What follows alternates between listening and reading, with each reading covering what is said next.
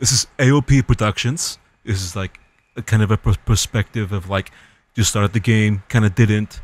I really like this video. This is his thoughts on the whole overall content of Division 2 at the time. This was made like two months ago, but honestly, this is one of my favorite videos. I really like watching people's people's perspective of being introduced into, into division because it's like it's uh, it's eye opening to like see their perspective. How would most people handle the end of the way of life that they normally know? The daily struggles that you deal with no longer matter. The interactions that you've had with people no longer exist. Friends and loved ones you have met before might become enemies or have died. In some situations, it seems like all hope is lost. But in that instance, hope was activated. And with that, so was I. This is my thoughts on The Division 2. You see what I mean though? Like this is what I'm talking about with like I hope Division 3 captures this exact sense. Like this exact narrative. It's like this is an apocalyptic world. You're trying to survive and help people. Like the true gritness, not not what they're doing right now with the story.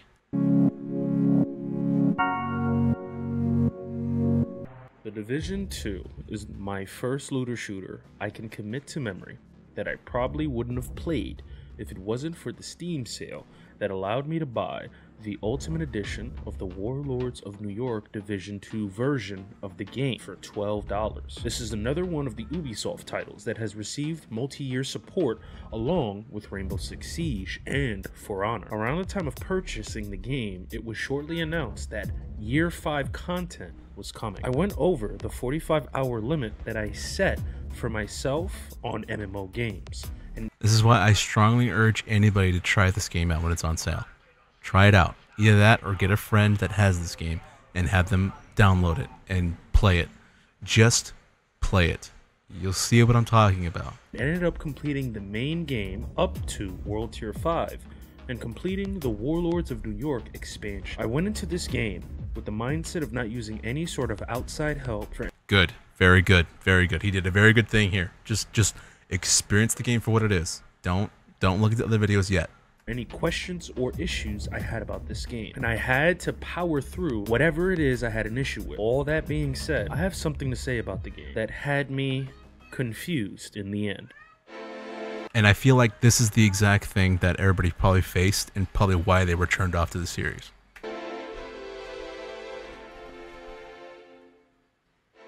I was genuinely bored when it came to the opening of the game. It felt empty and level locked. Things that I found interesting about the game is that you don't select gaming difficulty. You only select if you want to skip the main game and go directly into the Warlords of New York DLC, which will level skip you to level 30. And you go from there. If you go through the main game, you will be blasted with pop up screens, and I was kinda overwhelmed to be honest. When I say the game feels empty, aside from the NPCs in the safe house, there is no one else that you interact with. For an online open world RPG, it feels as if it was a game that I could play single player offline. Now, the only way I was able to have people along with me on the journey, I would either call for backup or answer someone else's call for backup. This has to be the most fucking worst mechanic they ever applied to the game. It should have been like how Monster Hunter World handles multiplayer, where you call for help and people just join you right, right off the bat, you know. And like, if they're searching for people with with in that current zone, you can just beam to it. There's no there's no having to find the mission or anything like that. It sort of has that, but people have to act people have to actively be looking for people basically asking for help. And since the player base is so far is so thin now, it's kind of hard to even find a match like that. Or even or even so, it's it's some I think it's also trying to find players that are, that are within the same level. So if you're a level 30 or below level 30 or the world world tier, if you're still in the world tiers, you're probably not going to find a, like a level a shade level 1000 help you out. And probably most the case, probably the number one reason why that's the case is because you don't want to you don't want a shade level 1000 with you blowing through content meanwhile you're just like in the back just like hey what's up you know but I'll never run into another division agent until I ventured into the dark zone. See, this is at the fault of the fact that yeah, he's in he's in the world tier zones where no one's probably world tier anymore. All the veterans are the only ones are all the veterans that have been playing this game for years are the only ones actively looking for people to play with. And the only way you can find them is if you're in a Discord or you're in a, you're in a clan and you find out there's people that need help. Other than that, this game does a, does a poor job of, of, of finding people that you can just help through help with the story. But we will save that for later.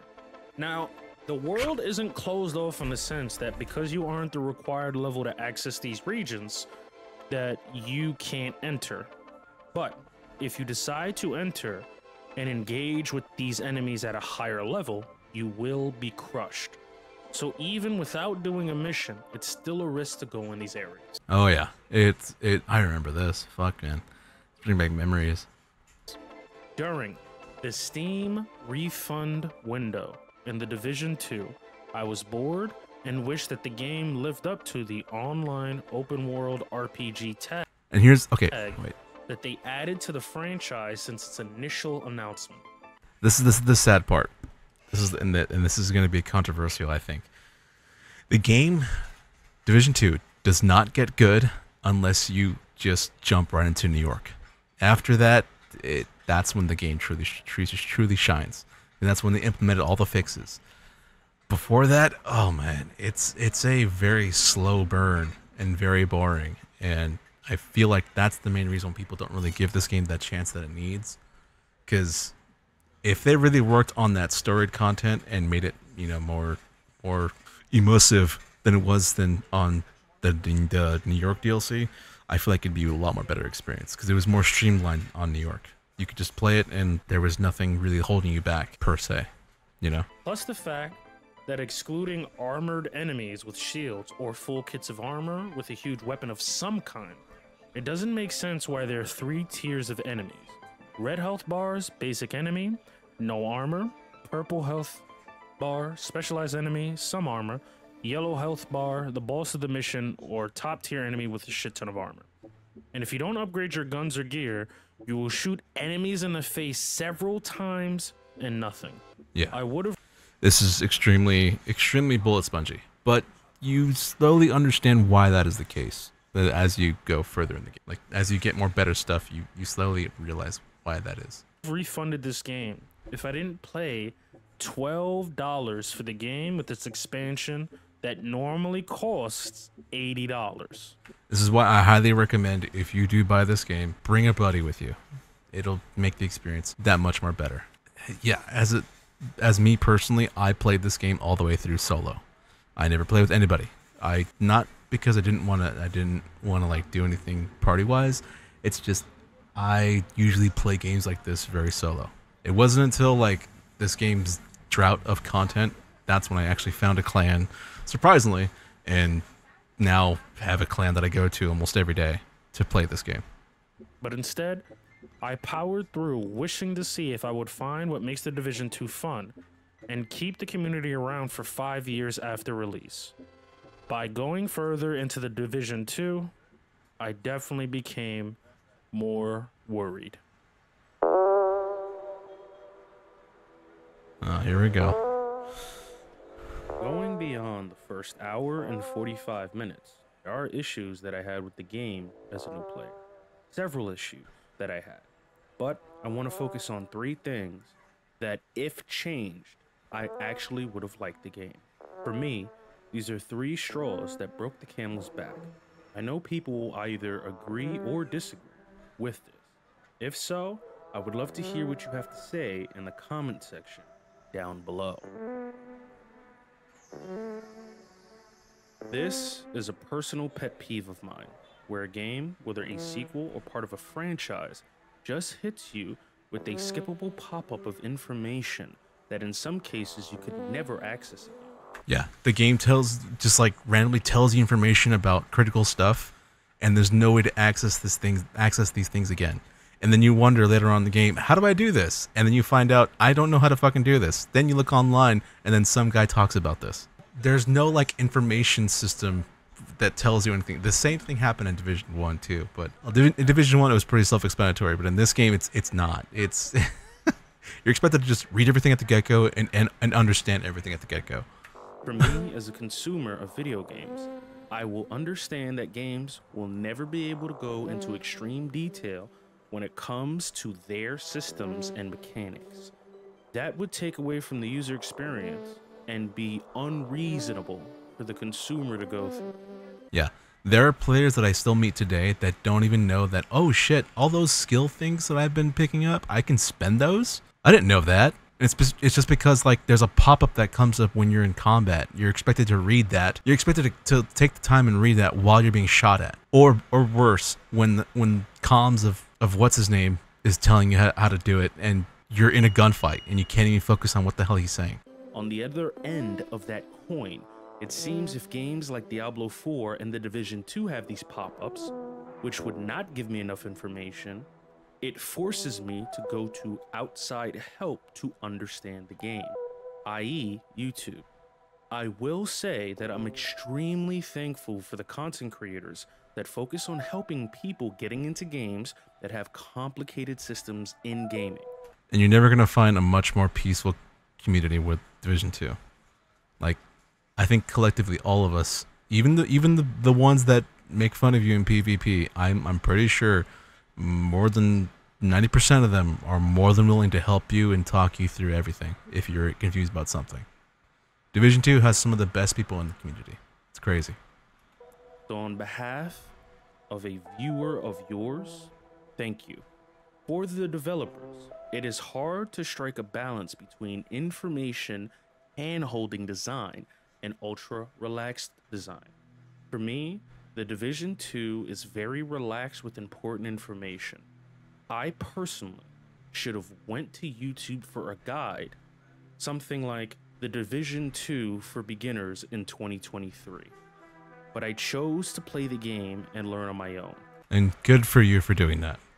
Because you got you got to you got to experience what everyone else was experiencing and why everyone was was so mad about this game.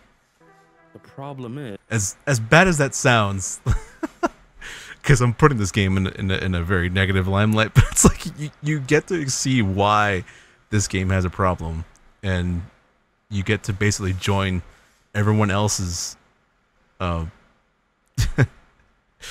echo essentially to you know fuck, I really like this game, but god damn it, there's a lot of wrong things with it.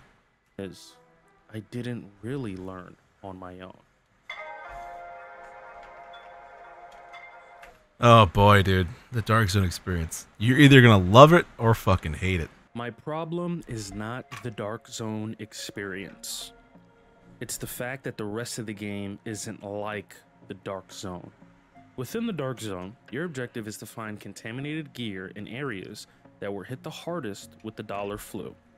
In there, you will find nothing but enemies, including other human playable agents.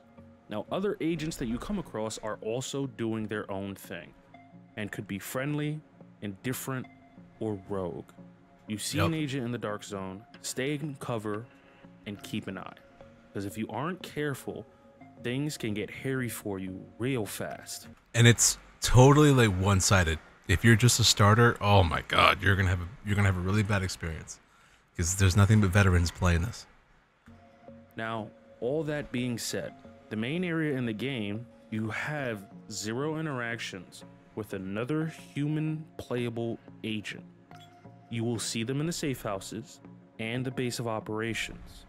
But unless you're joining somebody's mission or you're sending out a call for backup, you will never just wander into a person in the main DC area.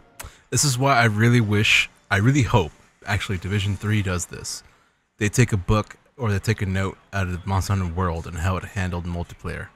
In Monster Hunter, in the Monster Hunter games, it's very emphasized to you at the very beginning of the game that co- cooperation, jolly cooperation, is and should be your your point of playing the game. Like it, it shows you interactively and beat by beat like how how multiplayer works, why it's important, and why you should do it. This game, it's like just fucking do it. Nothing. I'm not gonna give you shit. Just figure it out on your own. The same thing occurred in the Warlords of New York DLC. Unless I was in a safe house, I never saw a human playable character anywhere on the entire map. And I'm confused because for an online open world RPG, I would expect to see more people online in this open world RPG. Recently, I've been playing a game called Diablo 4. There's some some things that I could probably think of that they could amend this by creating events, create like live events that happen around the world where that they'll just pop up, and not necessarily you won't see any humans go to the event, but once you're at the event, you'll see actual players there. You know, like at a safe house near, getting ready to go to the event, and you just go and do it with them. That would be pretty cool. Really interactive experience. I, that would be really cool if they did that because that would be more. That would be almost on the line of of being an MMO shooter, which this game was trying to be. Thoughts coming soon. And at least with Diablo 4, for an online game, I believe MMO as well, not only do I see other human playable characters in the town hubs, but I come across them in my journey. Sometimes I join them for events, gather chests, and go on my own separate way, or I can stay with them and try to party up. Yeah, see, I, I really wish that Division did something like that. Maybe it's because the network's uh, integrity. Maybe because they they had that where it's only it's only four players only. Maybe that's the reason. I, it would be nice if you could do certain missions like a full eight man team or something like that. It would be cool, like especially legendaries. If you could do legendaries with an eight man team, that would be cool. Purely just for shits and giggles, not some fucking time running shit. You know, just pure out of pure fucking just fun. But I've never had that happen in the Division 2. And he's experiencing exactly what everybody else experiencing, how the game feels extremely empty. Now Division 2 was it it does. It feels extremely empty. It's just you versus the entire world. And the only reason and the only way you'll get multiplayer is if you buddy up with a homie. That's about it. Which is weird to me. Because aside from the safe house hubs and the base of operations, it felt like an always online single player game and not an online MMO open world game where all these people are coming across the country to save DC and perhaps the rest of the country. Another reason why I think the event thing would be better is because one, if you're just going around the world and people are, or people are traveling with you, they're probably gonna one shot everything before you even get to it. And I think that's probably the reason, the main reason why they don't they don't do stuff like that because it's heavily skewed. Like if you've been playing the game for a long time, you're gonna kill everything before everybody else can. So that's probably the case why they did that. But it's it would be nice to see other random players team up with you just randomly. You know. From total collapse. But see what I mean? They could easily fix that with the mechanic that Monster Hunter World brings you. That was a huge disappointment in the Division 2.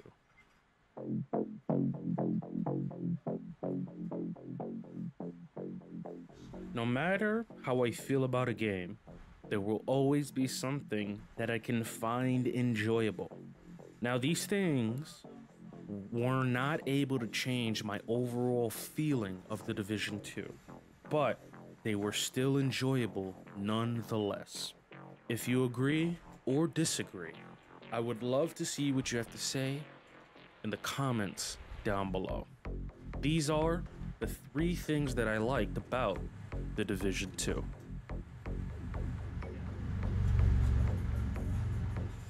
Now, I do have my problems with the way Ubisoft does games, especially their open world games. To me, they make these open world games feel empty and fill it with a bunch of things on the map to collect, to explore, that just feels like padding for the main pieces of the game's content. The Division 2 does that, but the in lore reason of having me walk the entire DC Metro map with the only way of fast travel is from safe houses to safe houses makes Yeah. sense. It's because everything collapsed. Realistically, how would you still have cars that have gas in intersections and areas? Society is on a thread.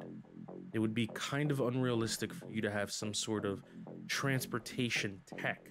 See, this is why I have a problem with the Black Tusk having Humvees in trailers. It's like, okay, if you're if these guys are able to travel around on these things, then why can't we capture a Black Tusk outpost and steal their vehicles? Or better yet, why can't we have their their electric bikes or something like that? I'm pretty sure the Black Tusk probably have something like that. You know, like why can't we have that? Now you can fast travel the missions and you can fast travel directly to missions and to and to safe houses. But like if if they're going to show that in trailers, then they ha- it has to make sense, and it doesn't make sense. That doesn't require the natural resources we're used to, like gas, and electricity, to an extent. But there's another reason why I liked the empty world. I was getting Resident Evil 3 Nemesis vibes. The size of the city, the, the scale that they were able to build with the DC area. I just wish there was some kind of zombie DLC as a Resident Evil fan because, like, imagine this, right? The dollar flu mutates because of a device that you collected during the Pentagon side mission. There's a huge debate about this too within the community that it wouldn't make sense. It nobody wants wants wants to have a zombie mode in this game, but it's like, dude, if they did this like every Halloween, like one like a as like a one off. I mean, it was even teased during the Resident Evil event when it came out that there that the Kenly College was gonna was supposedly gonna be overrun by zombies, and it was gonna it was just gonna be an event. That was it. It was highly incentivized that, that that's what was going to happen. It never happened. Everybody was let down. All we got was just cosmetics. We got masks, we got RPD apparel. That's about it. Nothing else. And it, and it sucks because they heavily eluded that Kenly College is going to be overrun by zombies, or or there was going to be a zombie event of some kind. I don't know why they showed that. Maybe because they knew that everybody was going to think that. They were, we, we were finally going to get some zombie event. Otherwise, that would have been cool as just a one-off event that just shows up every year, like like Golden Bullet. You know, just have it show up. It would have been it would have been cool. And with that, it changes people. And it evolves into the Division 2 zombies or the Division 2 Undead Nightmare, something, right?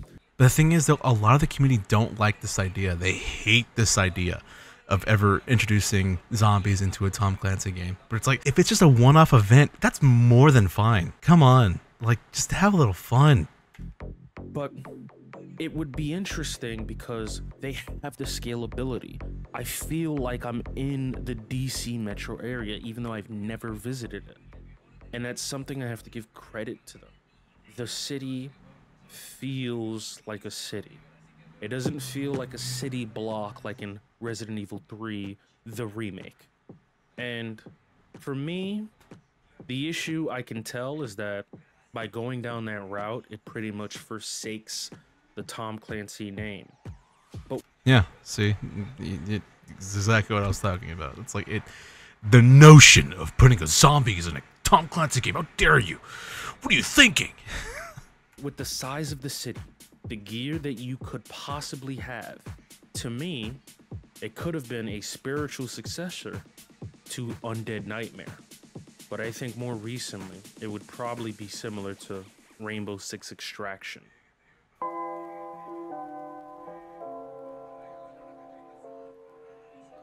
This might be a weird thing to praise games for, but for me, Ubisoft is one of the only companies that can release a game that can end up having multi year support. Think about it. It's multi year support. However, it's gonna be borderline boring content, but it, yeah, it's it's it's uh it's supported. Rainbow Six Siege released in 2015, around the same time as Call of Duty Black Ops 3. And we're still fucking playing it to this day, dude. Or at least I'm still playing it to this day. Like Fuck, man. The amount of negatives in this game, and I still fucking play it every day. It's insane. And instead of getting another Rainbow Six game, it got updated year after year. from 2015 2022. In that same time, we've had Call of Duty Black Ops 3, Call of Duty Infinite Warfare, Call of Duty World War II, Call of Duty Black Ops 4, Call of Duty Modern Warfare 2019, Call of Duty Black Ops. And this goes to show like what whose audience this game is is taking when he's mentioning when he's mentioning Call of Duties. Have you noticed that? Most Call of Duty players, if they want a more laid back experience, they want a more chill slash casual experience, the game they'll go to, or the game that they'll quote unquote discover, funny enough, is the Division. I, I find that so funny. Cold War, Call of Duty Vanguard, and Call of Duty. And I know this because this is exactly what happened to me. Right after Black Ops, right after Modern Warfare, yeah, right after right after the death of Black Ops 2, really, I I didn't know what else to play. The Modern Warfare 2 2022. Now, during that time, instead of creating a new game every year or several Rainbow Six games, they focused and refined the game. Now, whether the community agrees or disagrees with the direction of the game is a different story. But the idea of sticking with the game for years is becoming a rare treat for a lot of AAA games now. The Division 2 for me, even if I had some issues, the fact that I was able to go over the 45 hour time limit is because I wanted to explore more of the game.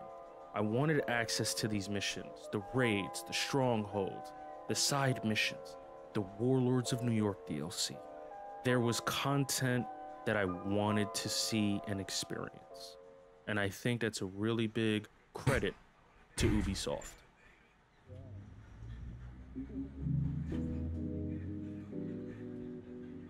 The Division 2 is a game that brings a lot of value, especially for being around for five years plus. At times, it definitely felt like a drag doing the same thing over and over. Mm-hmm. During those times, I definitely wanted to quit the game and not even work on this video. But that Steam sale, the $12 purchase, was the one thing that kept me pushing forward, and I'm glad that I did. The game can be fun, but for a new player like myself, I should have looked online for help understanding the game mechanics. People online, whether it's YouTube, forums, or anything, were able to give me more information than the game ever could. For anyone who is going to get into the Division 2, look for help online or with your IRL buddies that are already playing the game. I guarantee you, you will understand and more likely enjoy the game when you learn more about it. And I think being hard headed hurt my experience more than helped. For me, the Division 2 is greater than the sum of its total parts. I definitely had fun playing in the game, but I had fun playing the game in spurts. Yeah. Now, for the price of $12, the Division 2 Warlords of New York Ultimate Edition is absolutely worth the price. Yes, it is. The now amount it is. of content that you receive in this game is astronomical. And not only that, Year 5 content is officially out by the time I'm recording this video. But for the price of $80 without a Steam sale, I wouldn't recommend the game. I don't think $80 for the game, especially with the uh, the the forcing of your hand that you have to go to outside sources. You have to go other places to understand the game instead of within the game itself. I probably wouldn't recommend it at $80. If there's a sweet spot, Like just now, did you see how that emotes tip just posted up? It was only up there for less than like five seconds. And- he's also in the open world, and there's potentially an enemy faction around the corner. You're not gonna see that, like, and there's no way to even go back and find that. You just you have to go into the keybinds and like, oh, what activates my, my, my emotes? Oh, there it is. You know? Like I, I really hope when they make Division Three, they they look at these other games, especially like Monster Hunter World, especially when it comes to multiplayer, that they really take a page out of that book. Because if if multiplayer was a lot like Monster Hunter World, in, which you just summon a beacon and people are able to just find that randomly while they're looking for missions to help people with, that'd be a much more great experience because it's it's on a cooldown essentially to find find new matches to help people. Anywhere between 40 to 20 bucks. If you see it on a Steam sale, I would grab it. Yeah, if you find this game on on a sale and it's like 15 bucks, 18 bucks, get it. Don't get anything more. You should not have to spend 20 bucks or more on this game because the content that it is that it has now, it's not even worth the the full price tag that it comes with. It really isn't. Now be aware because the game came out in 2018, there is no crossplay. Even though I had a pop-up that said the game is crossplay between PC and Stadia, which So stupid. which no longer exists. If you're playing it on PC and you have friends on Xbox, you are shit out of luck. Yeah. Overall, I had fun playing That's another thing that Division Three need, needs to implement. It needs, it needs, it has to, it has to have crossplay. It has to. I don't care what anybody says where it's like, oh, console players PvP, blah blah blah. Then you know what? Set up a setting that all of these Call of Duty games are doing, where you only play with your specific console, or or that or that you play with your your whatever. Like you only play with Xbox players or you only play with PlayStation players. Set that up. Every game that has crossplay is setting that up when it has to do with multiplayer. So they should they have no reason to not implement that. the Division 2, but I hampered my own experience by being too prideful. I would recommend people play the Division 2 if they have it and they haven't played it in a while. For anybody who is thinking about picking it up, I would say wait for a sale. Ladies and gentlemen, that's it for the video. Let me know what you think in the comments down below. Whether or not you like the Division 2, you like Ubisoft games, you like what I had to say in this video. I can't wait to read what you put down below. And finally, I will be reviewing the Division 2 and in the future, I will be giving my thoughts on the Division 1. Thank you so much for coming out today, and please make sure that you're always on point. This is such a good video, dude. I'd even like I even commented on this guy's video when I first saw it. Yeah, see, I put right here. So like, funny enough, they teased and alluded to that Kenly College was going to be was going to have a zombie event during the Resident Evil collab, but never happened either because they lied or zombies just don't work in this realm. But a spin-off event year round, that shit would be sick. As the start of content, I honestly applaud you for going through it with with it rather than boosting to New York. Playing again again from the beginning does a poor job of making you feel like you're in a you're in a living world. I feel like that's what people miss the most from Division One. Yeah, say. But then, hey, if it doesn't happen, I can still dream for a modern version of RE3 Nemesis. It doesn't count. Yeah. See, like, yeah, two months ago. Oh, so I saw it on release. Yeah, dude, this, ah, fucking amen. Dude, this is such a good video. Like, I highly recommend you guys go and watch it. AOP Productions. And as far as I know, this guy's pretty, pretty relatively new to making videos, from what I've seen. He only has a handful of videos out already. But um, yeah, like seeing people's experience firsthand at the Division Two is really interesting because I hope, I hope some of the devs are looking at these videos particularly to see what they have to accomplish in Division Three. I mean, if not, I mean they already know they already have a handle of it. They're already in good hands. But it would be nice if they checked out some of these like videos from like people who don't have a lot of subs and see their firsthand experiences. Division Three needs needs needs a lot of work, man, to to get all these guys back. I, I hope they do it right.